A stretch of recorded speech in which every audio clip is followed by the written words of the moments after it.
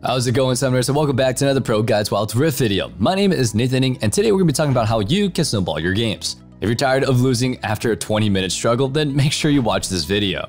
The very beginning of every game is a solid champion selection phase. A lot of the champions in Wild Rift cannot be blind picked into all matchups. They simply struggle too much into certain matchups. To avoid such problematic situations, you want to be blind picking champions that are at least decent into most matchups. For this case, we can only recommend Fiora at all times, even though a lot of players see Garen as a counterpick to her. However, in reality, this would only be the case if the player piloting Fiora is significantly worse than the Garen player. Fiora must know what she can do and what she can't. Any mistake on her end will lead to a painful experience in lane. Nevertheless, identifying the correct riposte windows and the proper sequencing of spells will give her the edge into many exchanges. For example, once Fiora hits 50% HP, Garen can just hit his first ability to silence her into an Ignite and Ultimate. If Fiora doesn't riposte a decisive strike in this scenario, she'll just die while being silenced. Look at your own counterplay and think about how to utilize it in all situations. Oh, and by the way, Fiora's cooldown on her second ability is twice as long on the PC version since it's absolutely broken, so make sure you make use of it. Luckily enough, we aren't forced to blind pick all the time anymore.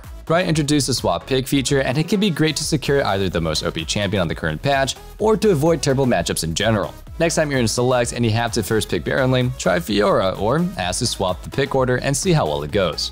Before we continue with today's video, make sure you check out the Discord in the description below. Giveaways, regular events, and an active chat are always waiting for you there, so make sure you stop by and look for yourself how it feels to be part of the ProGuides family.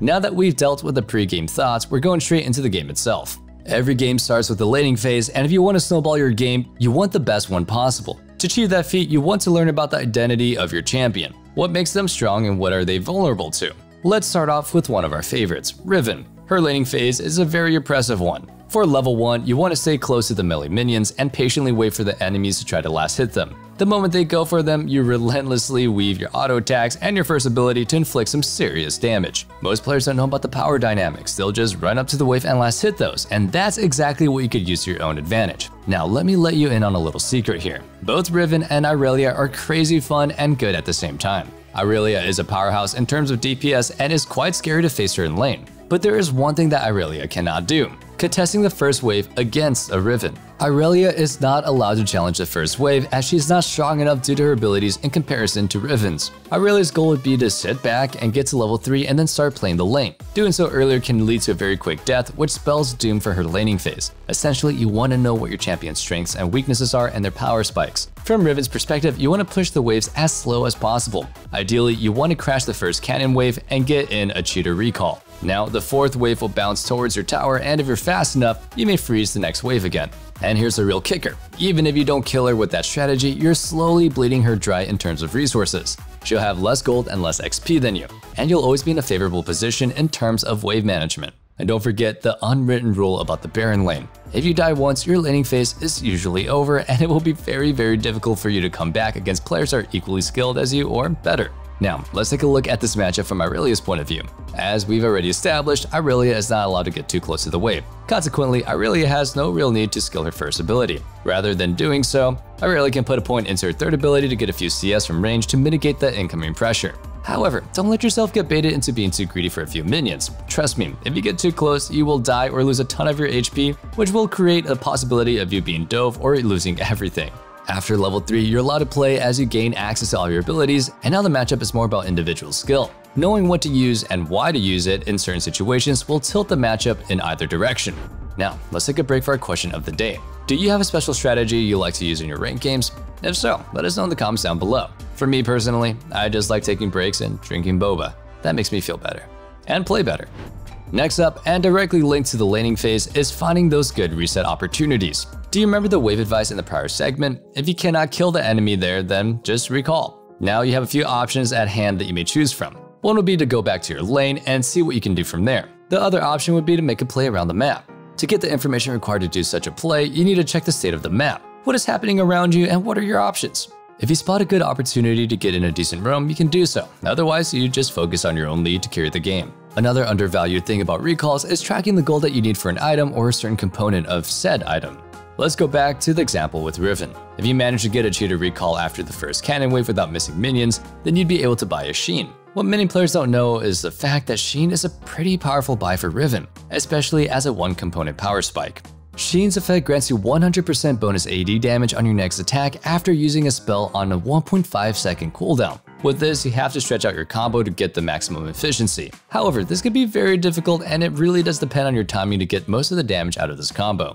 An easier alternative would be buying a Phage and then keeping the extra 300 gold in your pocket for later use. Factually speaking, the Sheen purchase is the biggest power spike that you can get from a single component, but it doesn't scale as well with your other item options. Nevertheless, if you're confident in your ability of pulling it off consistently, you can try out the Trinity Force route. Otherwise, it's more than okay to always default to Black Cleaver.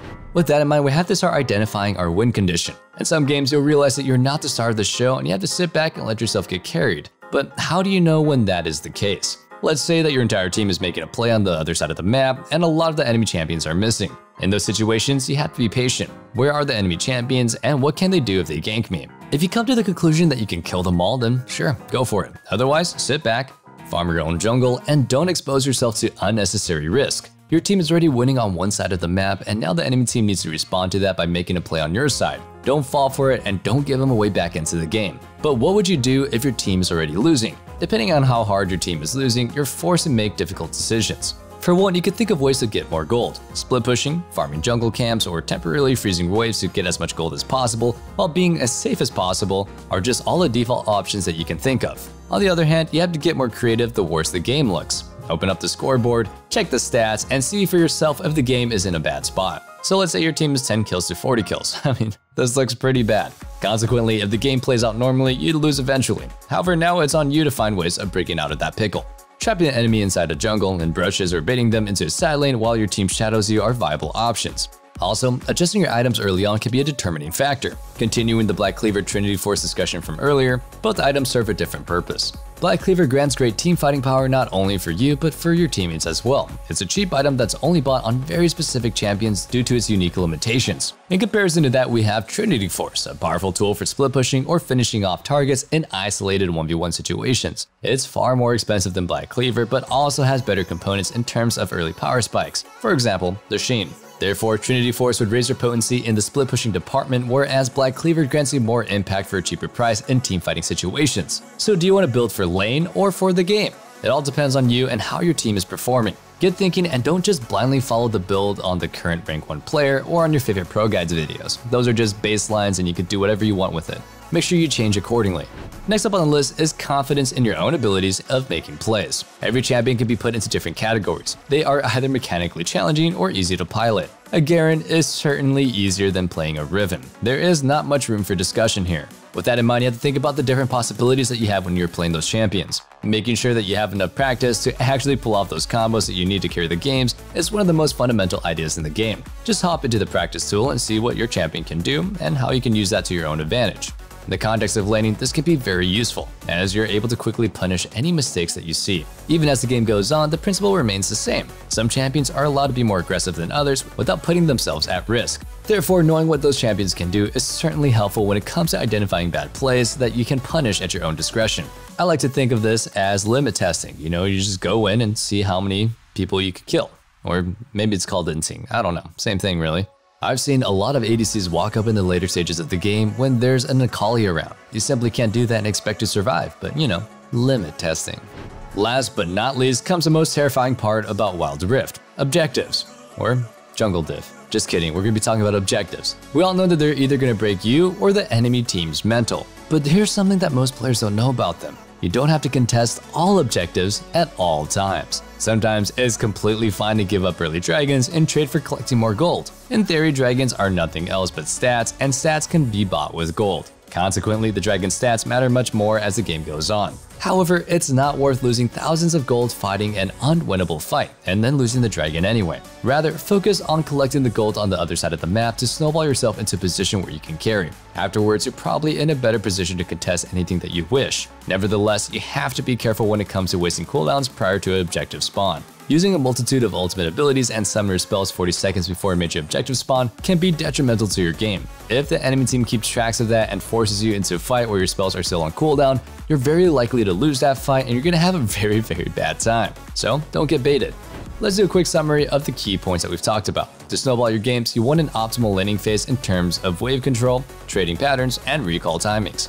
Afterwards, you want to see if you can transition your lead to other lanes by actively looking for roam windows after finding perfect recalls. While you're doing so, you have to constantly assess the game state to buy the best possible items for either your team or just yourself depending on what you think the win condition is. As you've properly assessed the state of the game, you need to make judgment calls when it comes to objectives. Do you want to contest them or do you want to take something else and just trade? Anyway, that concludes today's video on snowballing games and solidifying your own lead in the game. Thank you guys so much for watching. Leave a like and subscribe to the channel to never miss any content like this. Don't forget to reply to our question of the day down in the comments below, and see you guys next time for another ProGuides video. As always, my name has been Nathan Ng. Stay safe, stay healthy, and have a wonderful day. Peace.